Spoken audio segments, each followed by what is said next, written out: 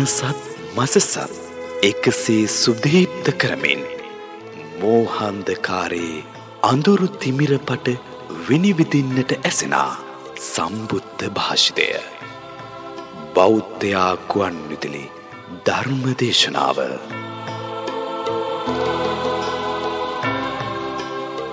සම්මා සම්බුදු සරණයි සුපින්වත් ඔබ සියලු දෙනාට.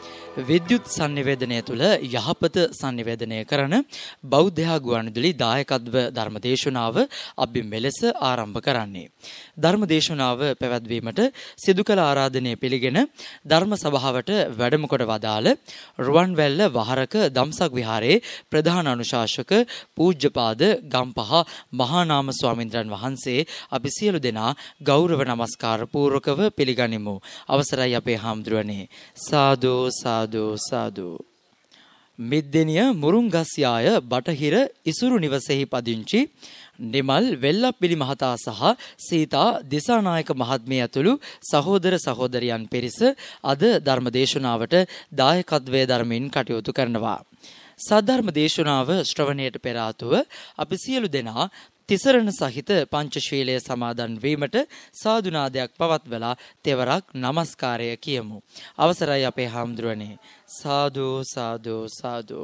නමෝ තස් භගවතු අරහතෝ සම්මා සම්බුද්දස්ස නමෝ තස් භගවතු අරහතෝ සම්මා සම්බුද්දස්ස නමෝ තස් භගවතු අරහතෝ සම්මා සම්බුද්දස්ස බුද්ධං සරණං ගච්ඡාමි. බුද්ධං සරණං ගච්ඡාමි. ධම්මං සරණං ගච්ඡාමි. ධම්මං සරණං ගච්ඡාමි. සංඝං සරණං ගච්ඡාමි ගච්ඡාමි සංඝං සරණං ගච්ඡාමි ဒ ුතියම්පි බුද්ධං සරණං ගච්ඡාමි ဒ ුතියම්පි බුද්ධං සරණං ගච්ඡාමි ဒ ුතියම්පි ධම්මං සරණං ගච්ඡාමි ගච්ඡාමි ဒ ුතියම්පි ධම්මං සරණං ගච්ඡාමි ဒ ුතියම්පි සංඝං සරණං ගච්ඡාමි ဒ ුතියම්පි සංඝං සරණං ගච්ඡාමි තතියම්පි බුද්ධං සරණං ගච්ඡාමි ගච්ඡාමි. තතියම්පි බුද්ධං සරණං ගච්ඡාමි. තතියම්පි ධම්මං සරණං ගච්ඡාමි. තතියම්පි ධම්මං සරණං ගච්ඡාමි. තතියම්පි සංඝං සරණං ගච්ඡාමි ගච්ඡාමි. තදියම්පි සංඝං සරණං ගච්ඡාමි. සරණාගමනං සම්පුන්නං ආම බන්තේ පානාති පාතා වේරමණී සික්ඛාපදං සමාදියාමි. පානාතිපාතා වේරමණී සික්ඛාපදං සමාදියාමි. අදින්නාදානා වේරමණී සික්ඛාපදං සමාදියාමි. අදින්නාදානා වේරමණී සික්ඛාපදං සමාදියාමි. කාමේසු මිච්ඡාචාරා වේරමණී සික් සික්ඛාපදං සමාදියාමි. කාමේසු මිච්ඡාචාරා වේරමණී සික්ඛාපදං සමාදියාමි. මුසාවාදා වේරමණී සික්ඛාපදං සමාදියාමි. සවාදා වේරමණී සික්ඛාපදං සමාදියාමි. සුරාමේරය මජ්ජපමා දට්ටානා වේරමණී සික් සික්ඛාපදං සමාදියාමි.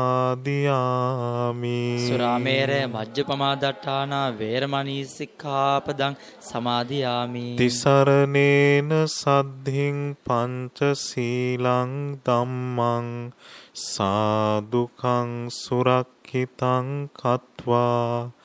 අප්පමාදේන සම්පාදේත ආම බන්තේ සාදු සාදු සාදු. සමන්තා චක්කවාලේසු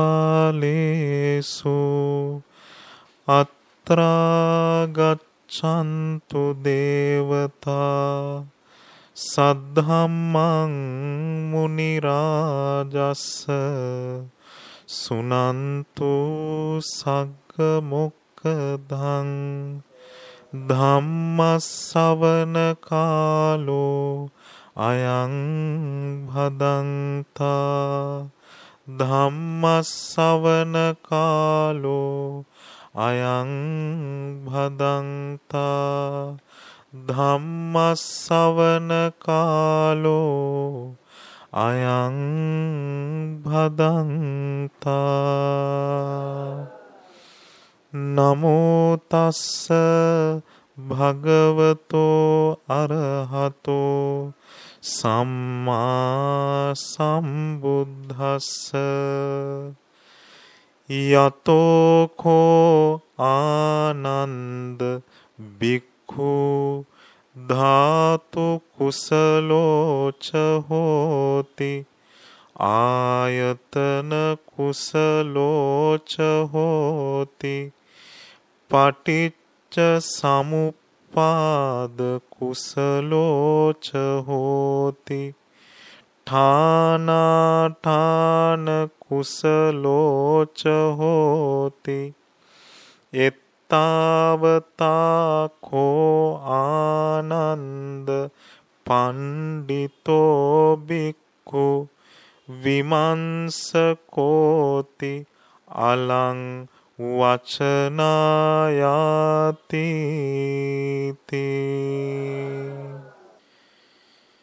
ගරුතර මහා සංඝරත්නයෙන් අවසරයි.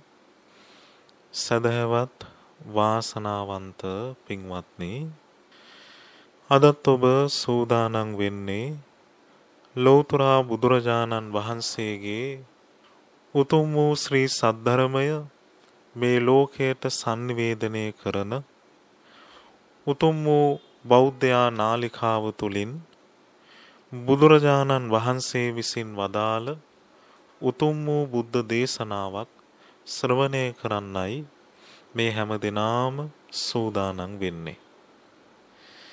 සංසාර ගමනක ඉපදමින් මැරමින් යන අපි කාටත් දුර්ලභ ලැබිච්ච මේ මනුස්ස ජීවිතය වාසනාවන්ත ජීවිතයක් බවට පත් කරගන්න බුදුරජාණන් වහන්සේගේ ධර්මය අපේ ජීවිතය තුළ දියුණු කළ යුතුයි.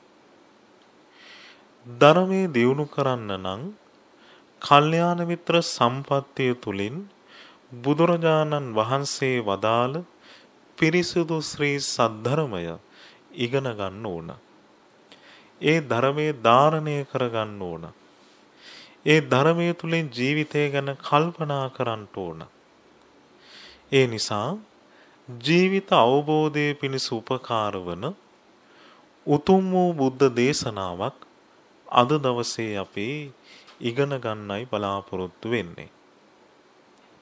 මේ දේශනාව පිංගුතුල්ල මනා සිහිනුවණින් යුතුව ශ්‍රවණය කළොත් ජීවිත අවබෝධයේ පිණිස මහා උපකාරයක් මේ දේශනාව තුළින් පිංගුතුන්ලාට ලබා ගන්න පුළුවන්කම ලැබෙනවා. අද අපි ඉගෙන ගන්නේ සූත්‍ර පිටකයේහි මජ්ක්‍ධිම නිකාය කියන උතුම් පොත් වහන්සේලාගෙන් තුන්වන කොටසට අහිති බුද්ධ දේශනාවක්. මේ දේශනාවේ නම බහුධාතුක සූත්‍රය. මොකද්ද මේ දේශනාවේ නම? බහුධාතුක සූත්‍රය.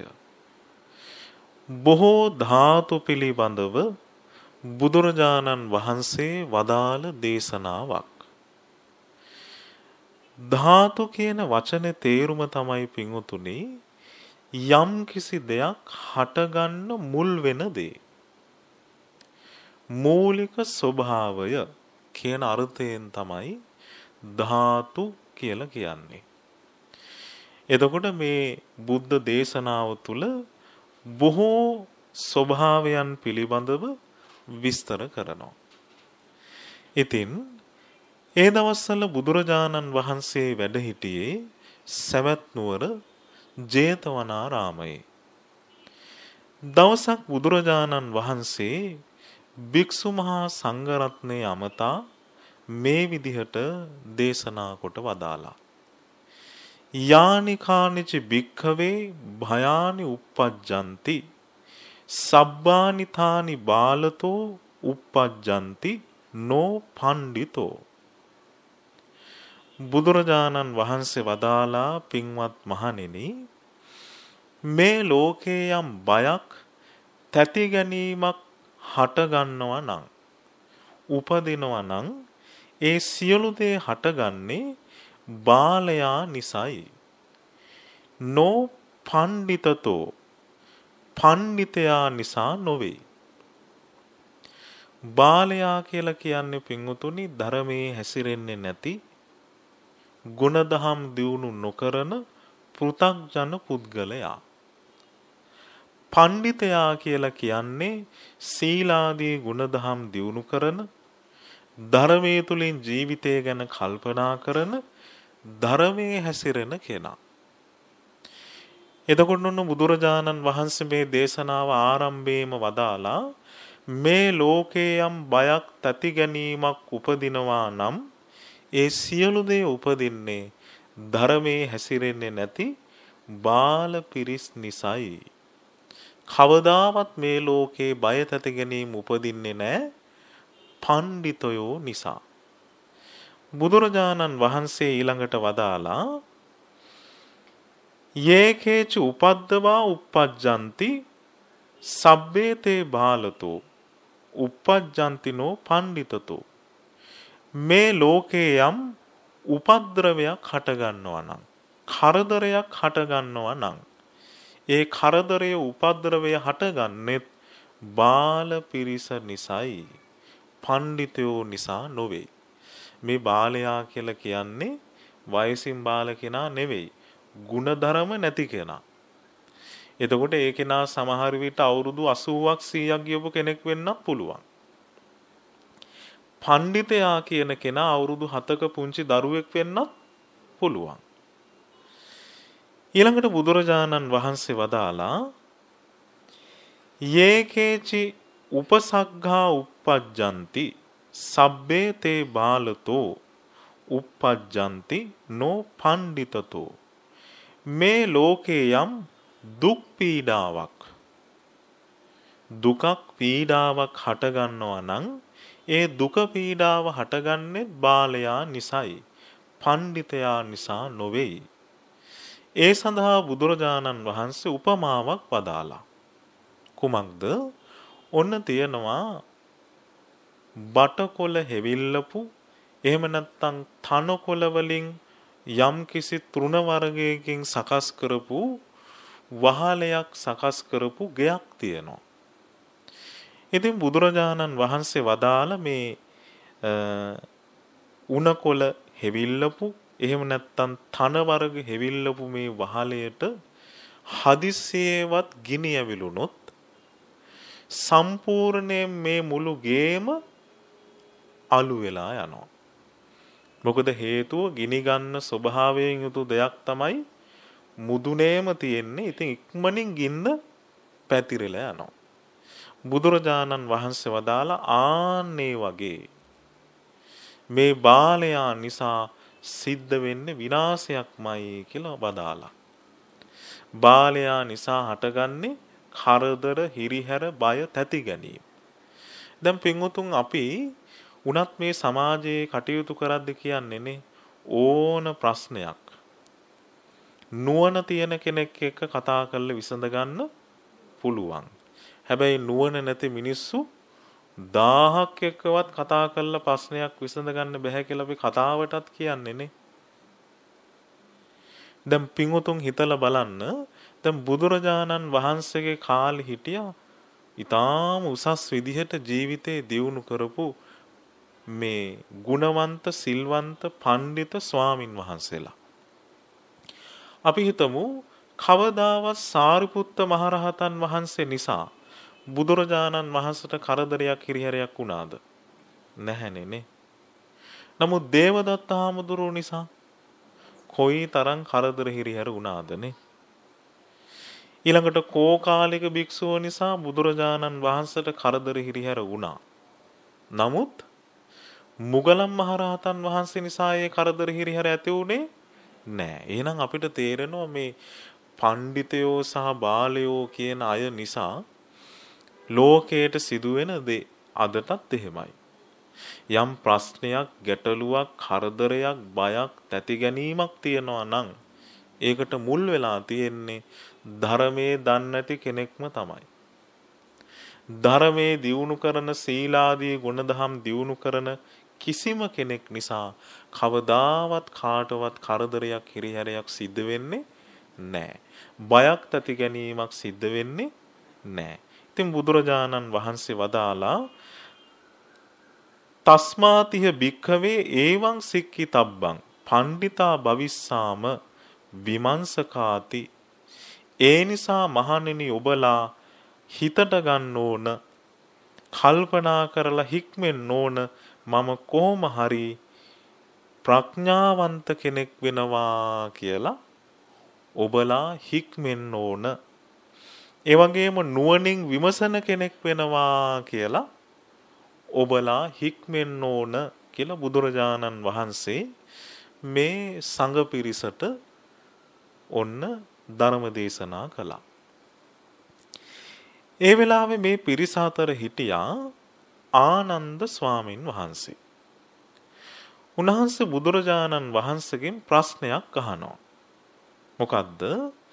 කිත්තාවතානුකෝ භන්තේ පණ්ඩිතෝ බික්ඛු විමංශකෝති අලං වචනායාති ස්වාමීනි භාග්‍යවතුන් වහන්ස කොපමණකින්ද භික්ෂුවකට පණ්ඩිත කියලා කියන්න සුදුසු සරලව අපි තේරුම් ගත්තොත් පණ්ඩිත භික්ෂුවක් වෙන්නේ කොයි විදිහට කටයුතු කළොත්ද කොයි විදිහට නුවණින් කල්පනා කළොත්ද පණ්ඩිතයෙක් වෙන්න පුළුවන් කියලා බුදුරජාණන් වහන්සේගෙන් පෙරලා ආනන්ද ස්වාමින් වහන්සේ ප්‍රශ්නයක් අහනවා. ඒ වෙලාවේ බුදුරජාණන් වහන්සේ වදාලා ආනන්ද භික්ෂුවක් පණ්ඩිත වෙන්න නම් කාරණා හතරක් සම්බන්ධයෙන් කුසලතාවයක් ඇති කරගන්න ඕන. කාරණා කීයක් සම්බන්ධයෙන්ද? හතරක් සම්බන්ධයෙන්. පළවෙනි එක තමයි ධාතු කුසල පළවෙනි කාරණාව තමයි මේ ධාතු ස්වභාවයන් පිළිබඳව හොඳ දැනුමක් තියෙන කෙනෙක් වෙන්න ඕන. මං කිව්වා ධාතු කියලා කියන්නේ යම් කිසි දෙයක් හටගන්න මුල් වෙන දේ. එතකොට මේ ලෝකේ සෑම දෙයක්ම හටගත්තේ යම් යම් කාරණා මුල් වෙලා. ආන්නේ කාරණා පිළිබඳව දැනුමක් තියෙන කෙනෙක් වෙන්න ඕන. ඒකට කියනවා ධාතු කුසල කියලා. අපි මේවා විස්තර වශයෙන් ඉගෙන ගන්නවා. දැන් අපි ඔන්න කෙටියෙන් මතක තියාගන්න ඕන මේ කාරණා හතර. පළවෙනි එක ධාතු කුසල. දෙවෙනි එක තමයි ආයතන කුසල. අභ්‍යන්තර බාහිර මේ ආයතන පිළිබඳව මනා වූ අවබෝධයක් ඇතිව වාසය කරන කෙනෙක් වෙන්න ඕන. ආන්නේ කෙනාට කියනවා ආයතන කුසල භික්ෂුව කියලා. ඊළඟට පටිච්ච සමුප්පාද කුසල. හට ගැනීමත් නැතිවීමත් ගැන මනාකොට දැනුමක් තියෙන කෙනෙක් වෙන්න ඕන. හේතුඵල ධම ගැන.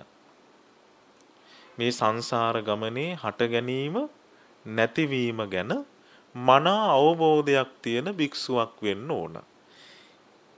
ඒකට කියනවා පටිච්ච සමුප්පාද කුසල කියලා. ඊළඟට හතරවෙනි එක තමයි ඨානාඨාන කුසල. තැනත් නොතැනත් පිළිබඳව තියෙන දැනුම. එහෙම නැත්නම් සිදුවිය හැකි දේත් සිදුවිය නොහැකි දේත් පිළිබඳව තියෙන දැනුම. ඒවා අපි විස්තර වශයෙන් ඉගෙන ගන්නවා. ඒකට කියනවා ඨානාඨාන කුසල කියලා. ඉතින් බුදුරජාණන් වහන්සේ වදාළ ittavataකෝ ආනන්ද පණ්ඩිතෝ බික්ඛු විමංශකෝති අලං වචනීයාති. ඉතින් ආනන්ද යම් භික්ෂුවක් ළඟ මේ කුසලතා හතර තියෙනවා නම් ඒ භික්ෂුවට කියන්න පුළුවන් හොඳ හොඳ පණ්ඩිත නුවණින් විමසන ප්‍රඥාවන්ත භික්ෂුවක් කියලා මේ කාරණා පිළිබඳව හොඳ දැනුමක් කුසලතාවයක් තියෙනවා නම් ආන්නේ කෙනාටයි කිව්වා මේ පණ්ඩිත භික්ෂුව කියලා කියන්න සුදුසු. ඉතින් ඔන්න ආනන්ද ස්වාමින් වහන්සේ බුදුරජාණන් වහන්සේගෙන් අහනවා ස්වාමීනී භාග්‍යවතුන් වහන්සේ මේ ධාතු කුසල භික්ෂුවක් වෙන්නේ කොහොමද? කොපමණකින්ද මේ ධාතු කුසල භික්ෂුව කියලා කියන්න පුළුවන් කියලා බුදුරජාණන් වහන්සේගෙන් ප්‍රශ්නයක් ඇහුවා. ඔන්න දැන් ධාතු පිළිබඳව විස්තර කරනවා. දැන් අපි ඉගෙන ගන්නේ ධාතු කුසල තාවේ ඇති කරගන්නේ කොහොමද කියලා. මේ හටගන්නා වූ මූලික ස්වභාවයන් පිළිබඳව මනා වූ අවබෝධයක් ඇති කෙනෙක් වෙන්නේ කොහොමද කියන කාරණාව තමයි දැන් අපි පළමුවෙන්ම ඉගෙන ගන්නේ. ඔන්න බුදුරජාණන් වහන්සේ වදාලා අට්ඨාරසකෝ ඉමා ආනන්ද ධාතුයෝ ආනන්ද මූලික ස්වභාවයන් තියෙනවා 18ක්. කීයක් තියෙනවද? 18ක් තියෙනවා. එහෙම නැත්නම් යම් කිසි දෙයක් හටගන්න මුල් වෙන කාරණා 18ක් තියෙනවා. මොනවද? චක්කු ධාතු, රූප ධාතු, චක්කු විඥාන ධාතු තුනයි. ඇස නම් වූ ස්වභාවය, ඇසට පේන රූප නම් වූ ස්වභාවය, ඇසේ හටගන්නා වූ විඤ්ඥානයේ නම් වූ ස්වභාවය. ඊළඟට කන නම් වූ ස්වභාවය සබ්ද නම් වූ ස්වභාවය කනේ හටගන්න විඤ්ඥානයේ නම් වූ ස්වභාවය. ඊළඟට නාසය ගඳසුවඳ නාසේ විඤ්ඥානය. දිව රසය දිවේ විඤ්ඥානය. කය පහස කයේ විඤ්ඥානය. සිත අරමුණු අරමුණු සිතින් දැනගන්න ස්වභාවය ඒකට කියනවා මනෝවිඤ්ඥානය කියලා. එතකොට ඔන්න තුන්වරක් කය දහටයි. ඔන්න බුදුරජාණන් වහන්සේ පළමුුවෙන්ම වදාලා මූලික ස්වභාවයන් දහටක් පිළිබඳව. මේ කියන්න පිංහතුනේ දැන් සාමාන්‍යයෙන් මේ ආයතන හය පිළිබඳව අපි තුල තියෙන්නේ මම මගේ කියන ආත්ම දෘෂ්ටියනේ. අන්නේ ආත්ම දෘෂ්ටියේ බැහැර කරලා යථා ස්වභාවයේ දකින නුවණ. මේ තුල පවතින හේතුඵල ධමයක්. ඇස කියලා කියන්නේ ධාතු ස්වභාවයක්. එතන මම නෑ. රූප කියලා කියන්නේ සතර මහා ධාතුන්ගෙන් හටගත්තු ස්වභාවයක්. එතන මම නෑ. ඇසේ විඤ්ඥානය කියන්නේ නාමරූප ප්‍රත්‍යයෙන් හටගත්ත දෙයක් ඇසයි රූපයයි නිසා. මේ විදිහට මම මගේ කියන ආත්ම දෘෂ්ටිය බැහැර කරලා හේතුඵල දහම දකින්න මහන්සි ගන්න කෙනෙක් වෙන්න ඕන. ආන්නේ කෙනාට කියනවා ධාතු කුසල භික්ෂුව කියලා. ඉතින් බුදුරජාණන් වහන්සේ මේකේ පින්වතුනි හරි ලස්සන වචන දෙකක් කියනවා. අට්ටාරස ධාතුයෝ යතෝ ජානාති පස්සති. ආනන්ද මේ දහටක් වූ ස්වභාවයන් පිළිබඳව මේ හටගන්නා මූලික ස්වභාවයන් පිළිබඳව ජානාති. යම් කෙනෙක් දැනගන්නවද පස්සති. දැකගන්නවද එත්තාවතාපිකෝ ආනන්ද ධාතුකුසලෝ බික්හූති. එපමණකින්ම කියන්න පුළුවන් ධාතු කුසල භික්ෂුවක් කියලා.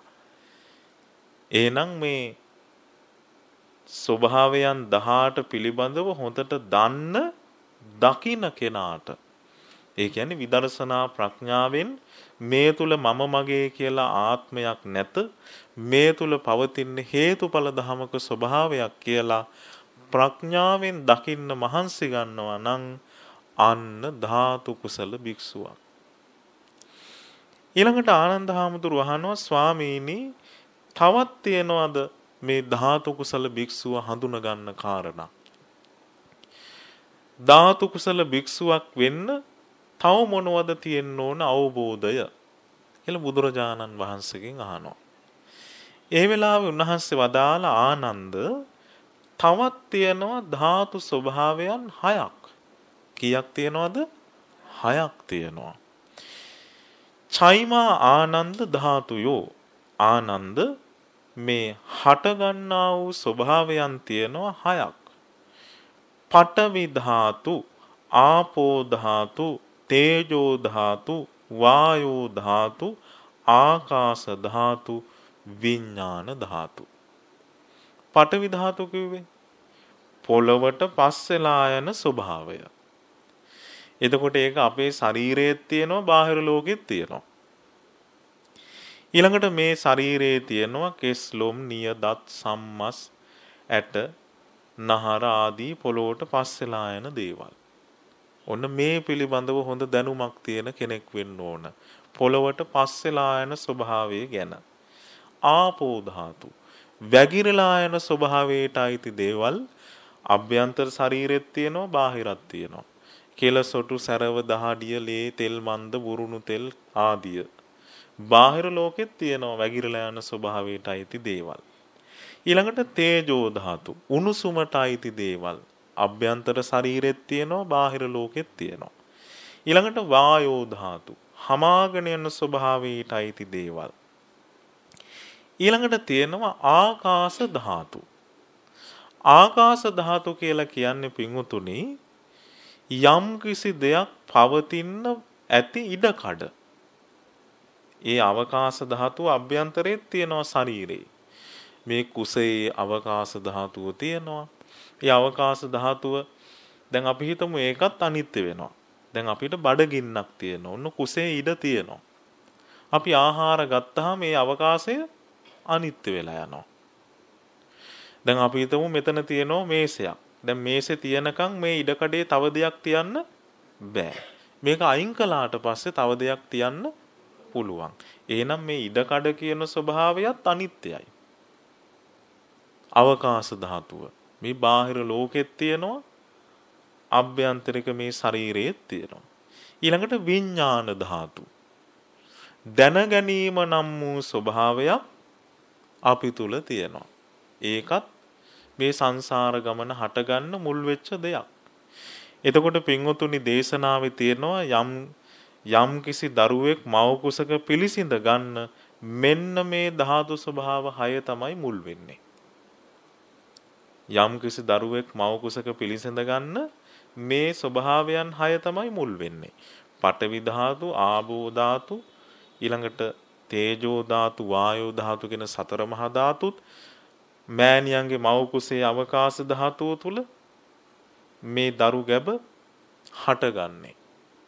ඊළඟට විඥාන ධාතුවේ ක්‍රියාවලියකුත් මේ තුල තියෙනවා. ප්‍රාණයක් තියෙනවා. එතකොට දරුවෙක් මව් කුසේ ඉන්නවයි කියලා කියන්නේ මේ ධාතු ස්වභාවයන් හය තමයි ක්‍රියාත්මක වෙන්නේ. ඉතින් යම් කෙනෙක් මේ ස්වභාවයන් හය පිළිබඳව ජානාති පස්සති. හොඳට දන්නවනම් දකින්නවනම් ඔන්න ධාතු කුසල භික්ෂුවක් කියලා කියන්න පුළුවන්. ඒ කියන්නේ මේ තුලත් තියෙන්නේ හේතුඵල දහමක පැවැත්මක් මම මගේ කියලා දෙයක් නැහැ. මේ සතර මහා ධාතුත් ඒ වගේම ආකාශ ධාතු, විඥාන ධාතු ආදී මේ ස්වභාවයන්ගෙන් හටගත්ත දේවල් තමයි මේ අභ්‍යන්තරික ශරීරෙත් බාහිර ශරීරයේත් තියෙන කියලා හොඳට ප්‍රඥාවෙන් දකිනවා. ඊළඟට බුදුරජාණන් වහන්සේ වදාළ ආනන්ද තවත් තියෙනවා ස්වභාවයන් හයක්. තව තියෙනවා ධාතු හයක්. සුඛ ධාතු, දුක්ඛ ධාතු, සෝමනස්ස ධාතු, දෝමනස්ස ධාතු, උපේක්ඛා ධාතු, අවිජ්ජා ධාතු. සුඛ ධාතු. කායික සැපේ නම් වූ ස්වභාවයක් මේ ලෝකේ තියෙනවා. කායික සැපේ කියලා ස්වභාවයක් නැද්ද? තියෙනවනේ ඒකනේ අපි මේකට ඇලුම් කරන්නේ නේ. එහෙම ස්වභාවයක් තියෙන නිසා තමයි අපි මේ මනුස්ස ජීවිතයට කැමති. නමුත් අපි අවබෝධ කරගන්න ඕනේ ස්වභාවය ස්ථිර නෑ. ඒක අනිත්‍ය එකක්. ස්පර්ශ ප්‍රත්‍යයෙන් හටගන්න දෙයක් කියලා අපි නුවණින් විමසලා අවබෝධ කරගන්න ඕන. ඊළඟට දුක්ඛ ධාතු. කායික වශයෙන් දුක කියන ස්වභාවයක් නැද්ද? තියෙනවා මේ ලෝකේ. ඊළඟට තියෙනවා සෝමනස්ස. සෝමනස්ස කියලා කිව්වේ මානසික වශයෙන් දැනෙන සතුට. මනසටත් සතුට දැනෙනවා. ඒකට කියනවා සෝමනස්ස කියලා. දෝමනස්ස කියලා කියන්නේ මනසට දැනෙන දුක. දැන් සාමාන්‍යයෙන් අපි දුක සැප කියද්දි හිතටයි කයටයි එකම වචනේනේ පාවිච්චි කරන්නේ. හැබැයි බුදුරජාණන් වහන්සේ පාවිච්චි කරන්නේ ඒක ස්වභාවයන් දෙකකට. එතකොට සාමාන්‍යයෙන් දුක සැප කියලා කිව්වේ කයට දැනෙන දේ. සෝමනස්ස දෝමනස්ස කිව්වේ හිතට දැනෙන දුක සැප. ඒකට කියනවා සොම්නස දොම්නස. ඒක සිතේ ස්පර්ශයෙන් හටගන්නේ. කායික දුක සැප හටගන්නේ කයේ ස්පර්ශයෙන්. ඊළඟට තියෙනවා උපේක්ඛා ධාතු. මධ්‍යස්ත බව නම් වූ ස්වභාවයකුත් තියෙනවා. දුක් නැති සැප නැති ස්වභාවයක්. ඊළඟට අවිජ්ජා ධාතු. ජීවිත යථාර්ථය පිළිබඳව පවතින අනවබෝධය නම් වූ ස්වභාවයකුත් තියෙනවා. ඒක අපිට තේරෙනවන්නේ මේ සංසාරේ අපි ඉපදෙමින් මැරෙමින් යන්නේ කුමක් නිසාද? අවිද්‍යාව නිසානේ. එහෙනම් මේ ලෝකේ පවතින හේතු වෙච්ච දෙයක් අවිද්‍යාව. යම් දවසක අපි අවිද්‍යාව ඉතිර නැතුව ප්‍රහාණය කළොත් එදාට අපි පිරිනුවම් පානවා. එහෙනම් මේ චතුරාර්ය සත්‍ය පිළිබඳව තියෙන අනවබෝධය කියන ස්වභාවය අපිව සංසාර ගමනේ අරගෙන යනවා. ඒ අවිද්‍යාව කියන ස්වභාවය මුල් වෙනවා සංසාර ගමනේ අපිව ඉපදෙමින් මැරෙමින් යන්න. එහෙනම් ඒක මේ ලෝකේ පවතින උපකාර වෙන දෙයක්. ඒක ධාතු ස්වභාවයක්. අවිද්‍යාව. එතකොට මෙන්න මේ ධාතු 6 ගැනත් යම් කෙනෙක් හොඳට දන්නවා නම් දකිනවා නම් ඔන්න ධාතු කුසල භික්ෂුවක් කියලා කියන්න පුළුවන්. ඊළඟට බුදුරජාණන් වහන්සේ වදාළ ආනන්ද තව තියෙනවා ධාතු තුනක්. තව තියෙනවා තවත් තියෙනවා ධාතු ස්වභාවයන් හයක්. තව තියෙනවා හයක්. මොනවද ඒ හය? කාම ධාතු, නෙක්ඛම්ම ධාතු, ව්‍යාපාද ධාතු, අව්‍යාපාද ධාතු, විහිංසා ධාතු, අවිහිංසා ධාතු. කාම ධාතු කියලා කිව්වේ මේ කැමැත්ත ඇතිවන ස්වභාවය. රූප ශබ්ද ගන්ධ රස පහස කියන පංචකාමයට කැමැත්ත ඇති වෙන ස්වභාවයකුත් අපි ළඟ තියෙනවා. නෙක්ඛම්ම ධාතු. මේවා අත්තරින්න ඕන ස්වභාවයකුත් තියෙනවා. දැන් හිතන්නකෝ. දැන් කැමැත්ත ඇති වෙන ස්වභාවය නිසා අපි කල්පනා කිරීම තුළ වැඩෙන්නේ කාම සංකල්පනා. අතහරින්න ඕන කියන ස්වභාවයේ තේරුම් අරගෙන ඒ කල්පනාව දියුණු කළොත් ඒකට කියනවා නෙක්ඛම්ම සංකල්පනා කියලා. ඒ කියන්නේ අපි මේ ලෝකේ හඳුනගන්න ස්වභාවයට අනුව තමයි අපි කල්පනාව පවත්වන්නේ. එතකොට ඔන්න කැමැත්ත ඇති කරන ස්වභාවයකුත් තියෙනවා අත්හැරලා දාන ස්වභාවයකුත් තියෙනවා ව්‍යාපාද ගැටෙන ස්වභාවයකුත් තියෙනවා. අව්‍යාපාද. නොගැටෙන ස්වභාවයකුත් තියෙනවා. විහිංසා ධාතු. හිංසා කරන ස්වභාවයකුත් තියෙනවා. අවිහිංසා ධාතු හිංසා නොකරන ස්වභාවයකුත් තියෙනවා. ඉතින් මෙන්න මේ ස්වභාවයන් හය ගැනත් හොඳට කෙනෙක් දන්නවා නම් දකිනවා නම් ඔන්න කියන්න පුළුවන් කිව්වා ධාතු කුසල භික්ෂුවක් කියලා. ඊළඟට ආනන්ද හාමුදුරුව අහනවා ස්වාමීනි තව තියනවාද? එහෙමයි ආනන්ද තවත් තියනවායි කිව්වා. තව තියනවා ධාතු තුනක්. කීයක් තියනවද? තුනක් තියෙනවා. කාම ධාතු, රූප ධාතු, අරූප ධාතු. කාම ධාතු කියලා කිව්වේ මේ රූප සද්ද ගන්ධ රස පහස කියන පංච කාමයට එක්ක ජීවත් වෙන ස්වභාවය. දැන් පින්වතුනි මේක තේරුම් ගන්න පුළුවන් දේශනාව එක තැනකද උන්වහන්සේ විස්තර කරනවා. ආනන්ද ස්වාමින් වහන්සේට බුදුරජාණන් වහන්සේ වදාළ ආනන්ද කාමධාතු වේපක්කංච ආනන්ද කම්මන්නා භවිස්ස අපිනුකෝ කාම භවෝ පඤ්ඤා ඒතාති ආනන්ද කාම ලෝකේ විපාක විදීම පිණිස කර්ම සකස් වීමක් කියලා එකක් මේ ලෝකේ නැත්නම් කාම භවයක් කියලා එකක් තියනවද ඇහුවා. තියනවද? නැහැ කිව්වා. එහෙනම් කාම ලෝකේ විපාක විදීම පිණිස කර්ම සකස් වීමක් තියෙන නිසා තමයි කාම භවය කියලා එකක් තියෙන්නේ. දැන් අපි මේ මනුස්ස ලෝකෙ ඉපදලා ඉන්නේ කාම ලෝකයක් නෙමේ. අපි සංසාරේ රැස් කරලා තියෙන්නේ කාම භවය. ඒ කියන්නේ කාම ලෝකේ උපදින්න උපකාර වෙන දේවල් තමයි අපි රැස් කරලා තියෙන්නේ. ඒ නිසා අපි මනුස්ස ලෝකේ ආවා.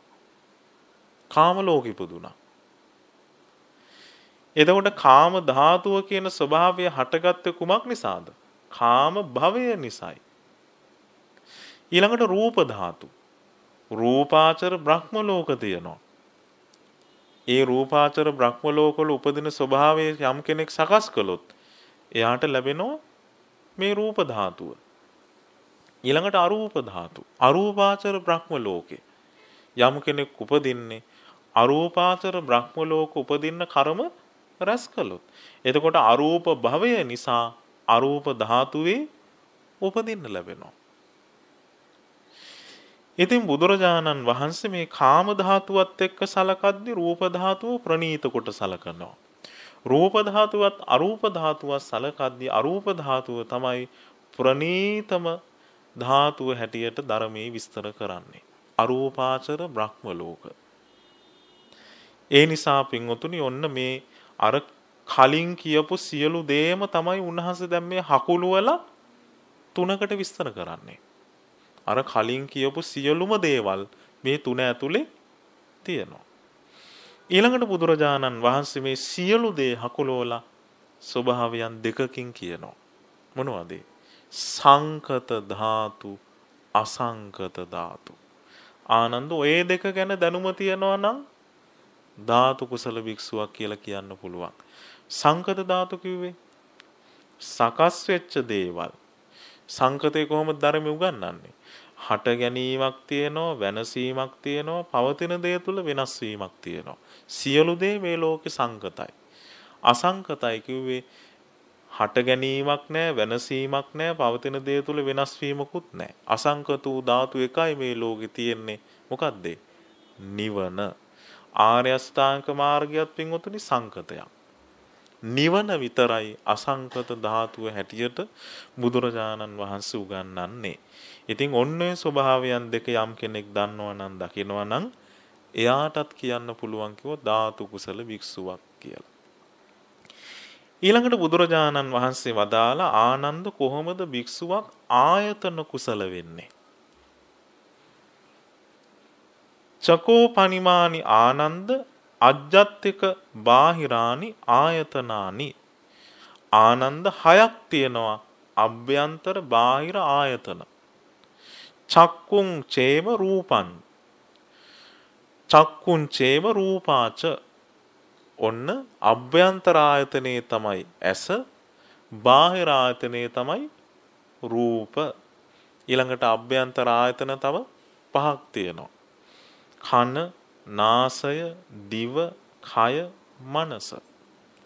බාහිර ආයතන ශබ්ද ගන්ධ රස පහස අරමුණු. එතකොට මේ අභ්‍යන්තර ආයතන හටගත්තේ නාම රූප ප්‍රත්‍යයෙන්.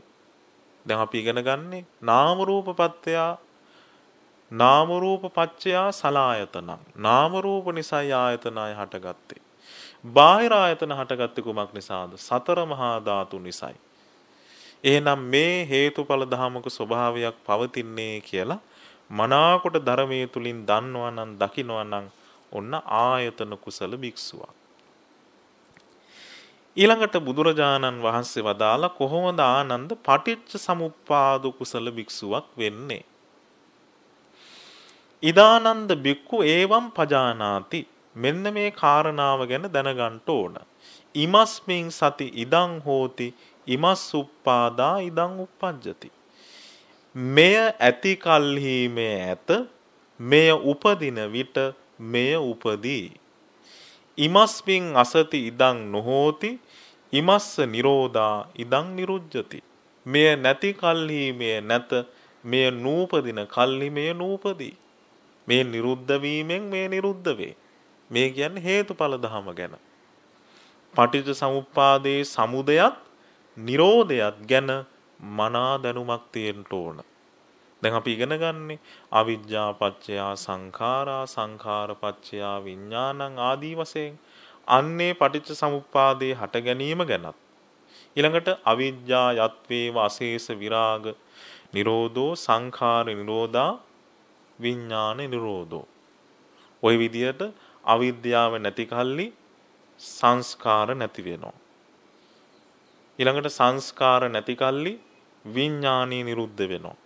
ඔය විදිහට මේ පටිච්ච සමුප්පාදයේ හට ගැනීමත් නැතිවීමත් හොඳට දන්න දකින භික්ෂුවක් ඉන්නවා නම් ඔන්න කියන්න පුළුවන් කිව්වා පටිච්ච සමුප්පාද කුසල භික්ෂුව කියලා. ඉතින් මේවා මීට වඩා විස්තර කරන්න පින්වතුනි කාල වේලාව මදි නිසා අපි තව ධර්ම දේශනා අහද්දි මේවා ගැන ඉගෙන ගන්න පුළුවන්. ඊළඟට ආනන්ද හාමුදුරුව අහනවා කිත්තාවතාපන බන්තේ ඨානාඨාන කුසලෝ බික්ඛූති අලං වචනීයාති කොහොමද ස්වාමීනි භාග්‍යවතුන් වහන්සේ මේ තන නොතන ගැන එහෙම නැත්නම් සිදුවිය හැකි දේ සිදුවිය නොහැකි දේ ගැන දන්න කුසලතාවයෙන් යුතු භික්ෂුවක් කියලා කියන්න සුදුසු කොපමණකින්ද කියලා බුදුරජාණන් වහන්සේගෙන් ඇහුවා. ඔන්න ඒ වෙලාවේ උන්වහන්සේ විස්තර කරනවා මෙන්න මේවා දැනගන්න ඕන භික්ෂුවක්. මොනවද දැනගන්න ඕන? මම පාලියෙන් නොකියා සිංහලෙන් ඉක්මනට කියන්නම් කාරණා ගොඩාක් තියෙනවා දැනගන්න ඕන. මොනවද? මේකේ උන්වහන්සේ වදාලා යන් දිට්ටි සම්පන්නෝ පුද්ගලෝ කංචි සංඛාරං නිච්ඡතෝප ගච්ඡේය නේතං ඨානං විජ්ජති පිංගුතුනි දිට්ටි සම්පන්න පුද්ගලයා කියලා කියන්නේ සෝතාපන්න කෙනාට. කවුද දිට්ටි සම්පන්න පුද්ගලයා කිව්වේ? සෝතාපන්න කෙනා. ඒ කියන්නේ සම්මා දිට්ඨිය තුල ස්ථාවර වෙච්ච කෙනා. එතකොට භික්ෂුවක් දැනගන්න ඕන කවදාවත් සෝතාපන්න වෙච්ච කෙනෙක් සංස්කාරයක් නිත්‍ය වශයෙන් ගන්නෙ නැහැ. ඒ කියන්නේ හේතු ප්‍රත්‍යයෙන් හටගත්ත කිසි දෙයක් සෝතාපන්න කෙනෙක් නිත්‍ය වශයෙන් ගන්නෑ. එහෙම ගන්නේ ධර්මයේ දන්නේ නැති පෘ탁ජන කෙනා. ඊළඟට සෝතාපන්න ශ්‍රාවකේ කවදාවත් සංස්කාරයක් සැප වශයෙන් ගන්නෑ. එහෙම ගන්නේ කවුද? එහෙම ගන්නේ පෘ탁ජන කෙනා. දැන් මේවා දැනගන්න ඕන. ඒ කෙනාට තමයි තානාටාන කුසල කියලා කියන්නේ. ඊළඟට යම් සෝතාපන්න කෙනෙක් සංස්කාරයක් යම් ධර්මයක් ආත්ම වශයෙන් ගන්නෑ. එහෙම ගන්නේ පෘථග්ජන කෙනා. ඊළඟට සෝතාපන්න කෙනා අතින් නොකෙරෙන කර්ම හයක් තියෙනවා. දැන් අපි රතන සූත්‍රය කියන්නේ චචාබි ඨානානි අභබ්බෝ කාතුන් නොකරයි සය තැනක කර්ම වැටෙන අපායට. සෝතාපන්න වෙච්ච කෙනෙක් අතින් නොකෙරෙන කර්ම හයක් තියෙනවා. ඔන්න මතක තියාගන්න කවදාවත් සෝතාපන්න වෙච්ච කෙනෙක් අතින් අම්මා ඝාතනය වෙන්නේ ඒක කරන්න පෘ탁ජන කෙනා. ඊළඟට සෝතාපන්න වෙච්ච කෙනෙක් කවදාවත් පියා ඝාතනය කරන්නේ එහෙම කරන්නේ පෘ탁ජන කෙනා. කවදාවත් සෝතාපන්න කෙනෙක් රහතන් වහන්සේ නමක් ඝාතනය කරන්නේ එහෙම කරන්නේ පෘ탁ජන කෙනා. කවදාවත් සෝතාපන්න කෙනෙක් දුස්ස සිතින් බුදුරජාණන් වහන්සේලාගේ ලේ සොලවන්නේ එහෙම සොලවන්නේ පෘථග්ජන කෙනා. ඊළඟට කවදාවත් සෝතාපන්න කෙනෙක් සංඝ වේදේ කරන්නේ එහෙම කරන්නේ පෘථග්ජන කෙනා. ඊළඟට කවදාවත් සෝතාපන්න කෙනෙක් අන්‍ය ශාස්ත්‍රූවරයෙක් සරණ යන්නේ එහෙම සරණ යන්නේ පෘථග්ජන කෙනා. ඔන්න කර්ම හයක් කිව්වා. ආනන්තරීය පාප කර්ම පහයි ඊළඟට අන්‍ය ශාස්ත්‍රූවරේ සරණ යනවා කියන කරුණ පෘථග්ජන කෙනෙක් අතින් මිසක් සෝවාන් කෙනෙක් අතින් සිද්ධ වෙන්නේ නැහැ. එතකොට ඔන්න තානාටානු කුසල කියන්නේ මේවා ගැන හොඳට දන්න කෙනෙක් වෙන්න ඕන. හොඳට දකින කෙනෙක් වෙන්න ඕන. ඊළඟට බුදුරජාණන් වහන්සේ වදාළ මෙන්න මේවත් දැනගන්න ඕන. මොනවද? කවදාවත් එක ලෝක ධාතුවක සම්මා සම්බුදුරජාණන් වහන්සේලා දෙනමක් පහළ වෙන්නේ එකවර. එක ලෝක ධාතුවක එකවර පහළ වෙන්නේ එක බුදු කෙනයි කියලා ඔන්න දැනගෙන ඉන්න කෙනෙක් වෙන්න ඕන. ඊළඟට කවදාවත් එක ලෝක ධාතුවක සක්විති රජවරු දෙනම දෙන්නෙක් පහළ වෙන්නේ එකවර එක ලෝක ධාතුවක පහළ වෙන්නේ එක සක්විති රජ කෙනයි. ඒකත් දැනගෙන ඉන්න ඕන. ඊළඟට මේකේ තියෙනවා හරි ලස්සන කරුණු ටිකක්. යං ඉත්ති අරහං අස්ස සම්මා සම්බුද්ධෝ නේතං ඨානං විජ්ජති. කවදාවත් ස්ත්‍රියක් සම්මා සම්බුද්ධත්වයට පත්වෙනවා කියන කරුණ සිද්ධ වෙන්නේ නැහැ. එහෙම සිද්ධ වෙන්නේ පුරුෂ කෙනෙක් පමණයි. ඊළඟට කවදාවත් ස්ත්‍රියක් සක්විති රජ වෙනවා කියන කරුණ සිද්ධ වෙන්නේ නැහැ. එහෙම වෙන්නේ පුරුෂ පාර්ශවයේ කෙනෙක් පමණයි. ඊළඟට කවදාවත් ස්ත්‍රියක් සක්දෙව් තනතුර කරනවා කියන කරුණ සිද්ධ වෙන්නේ ඒක කරන්නේ පුරුෂයෙක්. කවදාවත් ස්ත්‍රියක් මාරයෙක් වෙනවා කියන කරුණ සිද්ධ වෙන්නේ එහෙම වෙන්නේ පුරුෂයෙක්. කවදාවත් බ්‍රහ්ම තනතුර කාන්තාවක් කරනවා කියන එක සිද්ධ වෙන්නේ එහෙම කරන්නේ පුරුෂයෙක්. ඔන්න ඕවා ගැනත් හොඳ දැනුමක් තියෙන්න ඕන. දැන් මේ විස්තර කරන්නේ මොනවා ගැනද? අර සිදුවිය හැකි දේත් නොහැකි දේත් පිළිබඳව තියෙන දැනුම ගැන. ඨානාඨාන කුසල ඊළඟට බුදුරජාණන් වහන්සේ වදාලා ආනන්ද කයින් දුස්චරිතයේ යෙදිලා වචනයෙන් සිතින් දුස්චරිතයේ යෙදිලා සුගතිය උපදින්න ලැබෙනවා කියන කරුණ සිද්ධ වෙන්නේ නැහැ. යම් කෙනෙක් සිතින් කයින් වචනයෙන් අකුසල් කරොත් එයා අනිවාර්යෙන් අපායේ තමයි උපදින්නේ. මේ විදිහට බුදුරජාණන් වහන්සේ බොහෝ කරුණු කාරණා මේ ඨානාඨාන කුසල භික්ෂුව ගැන දේශනා කොට වදාලා. එතකොට ඔය දේවල් හොඳට දන්න දකින කෙනෙක් නම් එයාට කියන්න සුදුසුයි කිව්ව ඨානාඨාන කුසල කියලා. දැන් ඔන්න මේකේ හැකියාවන් හතරක් විස්තර කළා. පළවෙනි එක තමයි ධාතු කුසල. ඒ කියන්නේ මේ හට ගන්නා වූ ස්වභාවයන් පිළිබඳව තියෙන දැනුම. ඊළඟට අභ්‍යන්තර බාහිර ආයතන හය ගැන තියෙන දැනුම.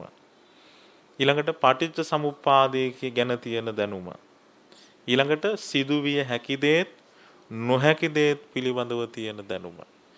මෙන්න මේ කාරණාවලින් යම් කෙනෙක් සම්පූර්ණ නම් ආන්නේ කෙනාට කියන්න පුළුවන් කියලා කවුරු කියලාද? පණ්ඩිතයා කියලා කියන්න පුළුවන් කිව්වා. එහෙනම් පණ්ඩිතයෙක් වෙන්න ලේසි නෑ. පණ්ඩිතයෙක් වෙන්න කොයිතරම් ජීවිතේ ධර්මය දියුණු කරන්න ඕනද නේ? නුවණින් විමසන්න ඕනද? ජීවිතයට ධර්මයේ ගලපන්න ඕනද? ඒ නිසා අපි තේරුම් ගන්න ඕන මේ දේශනාව ආරම්භයේම වදාළ උන්වහන්සේ මේ ප්‍රශ්න ගැටලු කරදර හිරිහර බය තැති ගැනීම ආදී මේ සියලු දේ හටගන්නේ බාලියෝ නිසායි. එහෙනම් පින්වතුනි යම් රටක මේ බය තැති ගැනීම නැති කරන්න කවදාවත් නීති පනවල බෑ.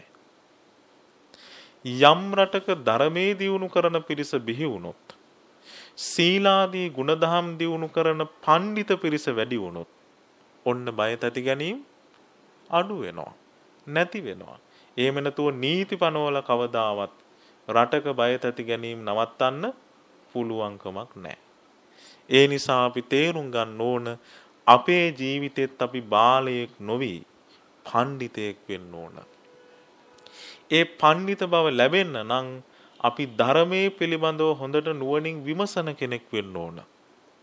ධර්මයේ ජීවිතයට ගලප ගන්න කෙනෙක් වෙන්න ඕන. ඒ නිසා පින්වතුනි මේ පණ්ඩිත බව මං කිව්ව අවුරුදු 7 පුංචි දරුවෙකුටත් ලැබෙන්න පුළුවන්. හිතන්න එදා කුමාර කාශ්‍යප මහරහතන් වහන්සේලා සුනීත සෝපාක වගේ පුංචි උදවිය පුංචි වයසේදී ධර්මය අවබෝධ කළා. දවසක් මේ සෝපාක කියන ස්වාමින් වහන්සේ බුදුරජාණන් වහන්සේ ළඟට වැඩපු වෙලාවේ උන්වහන්සේ ප්‍රශ්න වගේක් ඇහුවනේ. මොකක්ද ඇහුවේ? ඒක නාමකින් කියන්න බලන්නකෝ එක කියන්නේ මොකද්ද? ඉතින් මේ ස්වාමින් වහන්සේ කියනවා එක කියන්නේ ස්වාමීනි සබ්බේ සත්තා ආහාරට්ටිතිකා සියලු සත්වයන් ආහාර නිසයි ජීවත් වෙන්නේ. ඒක තමයි එක ද්වේ නාමකින් දෙක කියන්නේ මොකද්ද? නාම රූප. තුන කියන්නේ මොකද්ද? ස්පර්ශ ප්‍රත්‍යයෙන් හටගන්න වේදනා තුන. දැන් බලන්නකො මේ අවුරුදු 7 පුංචි දරුවෙකු තුල තිබිච්ච පඬිත බවනේ. අපි හිතමු අද අපි හොඳට මේ සිල් ගන්න වයසක උපාසකම්ම කෙනෙක්ගෙන් ඇහුවොත් ජීවිතේ එක කියන්නේ මොකද්ද කියලානේ. කියන්නේ එක කියන්නේ රස්සාවක් හොයාගන්න එක කියලා. දෙක කියන්නේ මොකක්ද ඇහුවොත් කියයි ගියක් හදාගන්න එක. දැක්කද අපේ කල්පනාවේ ඒ කල්පනාවේ තියෙන වෙනස. අපිට තියෙන්නේ බොහොම බාල කල්පනාවක්. නමුත් ජීවිතයේ ගැඹුරින් අවබෝධ කරන්න නම් අපිට ගැඹුරු කල්පනාවක් තියෙන්න ඕන. එදා ජීවත් වෙච්ච අවුරුදු 7 පුංචි දරුවොත් මේ බොළඳ විදියට ජීවිතය ගැන හිතුවේ නැහැ. ජීවිතය ගැන බොහොම ගැඹුරින් හිතුවා. ඒ නිසා හැම කෙනාටම ධර්ම අවබෝධය කරන්න වාසනාව ලැබුණා. එහෙමනම් අපිත් බාලයන් නොවි පණ්ඩිතයන් හැටියට මේ මනුස්ස ජීවිතේ ගත කරන්න නම් ධර්මයේ ඉගෙන ගන්න ඕන ධර්මයේ තුලින්ම ජීවිතය ගැන කල්පනා කරන්න ඕන ඒ සඳහා පින්වුතුන්ට මේ උතුම් වූ බහුධාතුක සූත්‍ර දේශනාව උපකාරයක්ම වේවා කියලා සාදු කියලා ප්‍රාර්ථනා කරගනිමු. එහෙමනම් දැන් අපි සූදානම් වෙන්නේ මේ ධර්ම දේශනාවෙහි දායකත්වයේ දරූ පින්වුතුන් වෙනුවෙන් පුණ්‍යානුමෝදනාවන් සිද්ධ කරන්නයි. අද දවසේ මේ උතුම් ධර්ම දානමේ පින්කමට දායකත්වයේ දරන්නේ මිද්දනිය මුරුංගස්යාය බටහිර ඉසුරු නිවසේ පදිංචි නිමල් වෙල්ලප්පිලි සහ සීතා දිසානායක මහත්මිය යන දෙපළ ඇතුළු සහෝදර සහෝදරයන් විසින් තමයි අද දවසේ මෙහි දායකත්වයේ දරන්නේ. ඒ පින්වතුන් බලාපොරොත්තු වෙනවා කැවිලිය පොළ මාර්ගහේන විසූ DSR දිසානායක පියාණන්ට සහ සුමනාවතී රණසිංහාරච්චි මෑණියන්ට පින් අනුමෝදන් කරන්න. ඒ වගේම වලස්මුල්ල මොරකන්දේගොඩ සෙත්සිරි නිවසේ විසූ RWA බේබිහාමි මෑණියන් සහ වෙල්ලප්පිලි ආරච්චිගේ අමරවංශ පියාණන්ට පින් අනුමෝදන් කරන්න බලාපොරොත්තු වෙනවා. ඒ නම් සඳහන් කළ පින්වතුන් ඇතුළුව පින්වතුන් නමින් වර්ග පරම්පරාවේ මිය පරලොව ගිය සියලුම ඥාතීන්ට මේ උදාරතර ධර්ම දානමේ පින්කම වහවහා චතුරාර්ය සත්‍ය ධර්ම අවබෝධයේ පිණසම හේතු වාසනා වේවා කියලා සාදු කියලා පින් අනුමෝදන් කරන්න. ඒ වගේම පින් කැමති සියලු දෙවියන්ටත් මේ පින් අනුමෝදන් වෙත්වා දෙවියෝ දුතුම් වූ නිවනින්ම සැනසීම උදා කර ගනිත්වා කියලා සාදු කියලා. විශේෂයෙන්ම මේ උතුම් වූ නාලිකාවෙහි නිර්මාතෘ දරණාගම කුසල ධම්ම නායක ස්වාමින් වහන්සේ ඇතුළු කාර්ය මණ්ඩලයේ පින්වුතුන් හැම දෙනාටමත් මේ ධර්ම දේශනාව සඳහා දායකත්වයේ දරූ පවුලේ ඥාති හිත මිත්‍රාදී සියලු දෙනාටමත් ධර්ම ශ්‍රවණය කළ ඔබ සියලු දෙනාටමත් මේ උදාරතර පින්කම එකසේ අනුමෝදන් වීමෙන් නිදුක් නිරෝගී සුවපත් භාවයේ සැලසේවා. වහ වහා චතුරාරි සත්‍ය ධර්මයම අවබෝධ කිරීමේ දුර්ලභ වාසනාව උදා වේවා කියලා සාදු කියලා පින් අනුමෝදන් වෙන්න. අපි කවුරුත් දෙවියන්ට පින් අනුමෝදන් කරමු. ආකාසට්ඨා ච බුම්මට්ඨා දේවානාගා මහිද්దికා පුඤ්ඤන්තං අනුමෝදිත්වා චිරං රක්ඛන්තු ලෝක සාසනං චිරං රක්ඛන්තු දේශනං චිරං රක්ඛන්තු මං පරන්ති. හැම දිනාටම වහවහ චතුරාර්ය සත්‍ය ධර්මයම අවබෝධ කිරීමේ වාසනාව උදා වේවා. සියලු දෙනාටම තෙරුවන් සරණයි. සාදු සාදු සාදු. එම උතුම් සද්ධර්ම දේශනාව පැවැත් වූ රුවන්වැල්ල වහරක දම්සක් විහාරයේ ප්‍රධාන අනුශාසක පූජ්‍යපාද අවසරයි. ගම්පහ මහානාම ගෞරවනීය ස්වාමීන්ද්‍රයන් වහන්සේට ස්වාමීන්ද්‍රයන් වහන්සේ සිදු කරන්නා වූ මේ උත්තුංග ශාසනික මෙහෙවර තවත් চিරාත් කාලයක් සිදු කිරීමට අවශ්‍ය ශක්තිය ධෛර්ය නිදුක් නිරෝගී චිරජීවනයේ සැලසේවායි අපි ප්‍රාර්ථනා කරමු. සාදු සාදු සාදු. ඒත් සමගින් බෞද්ධ ආගුවන්විදුලි දායකත ධර්ම දේශනාව අවසන් වෙනවා. ඔබ සැමට සම්මා සම්බුදු සරණයි. මනසත් මසසත් එකසේ සුදීප්ත කරමින් මෝහන්දකාරයේ අඳුරු තිමිරපට විනිවිදින්නට ඇසෙනා සම්බුද්ධ භාෂිතය බෞද්ධයා ගුවන් විදුලි ධර්මදේශනාව Thank you.